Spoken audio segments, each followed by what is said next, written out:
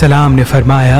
जब भी जिलहज का महीना आए तो एक मरतबा सुरह रहमान जरूर पढ़ना क्योंकि जैसे ही जिलहज का चांद, चांद। आसमान पे जाहिर होता है फरिश्ते रहमतें बरकतें और गैबी खजाने लेकर हर उस घर की तरफ रुख करते हैं जिस घर में सुरह रहमान की तिलावत की जाती है और यूं उस घर में रहने वालों की तमाम दुआएं कबूल हो जाती हैं हर वो परेशानी जो उसके नसीब में आनी होती है वो खत्म हो जाती है उसके कामों में जो जो रुकावटें होती हैं अल्लाह अपने नूर और बरकत से दूर कर देता है मैंने अपने बाबा उन्होंने अपने बाबा उन्होंने अपने बाबा और उन्होंने अल्लाह के रसूल से सुना कि जिलहज के महीने का चांद चंद दुआ के कबूलियत की जमानत होती है जब भी इस चांद को देखो तो एक जगह बैठकर सुरह रहमान पढ़कर अपनी दुआ मांग लिया करो ऐसा हो ही नहीं सकता कि तुम्हारी उस दुआ को कबूल न किया जाए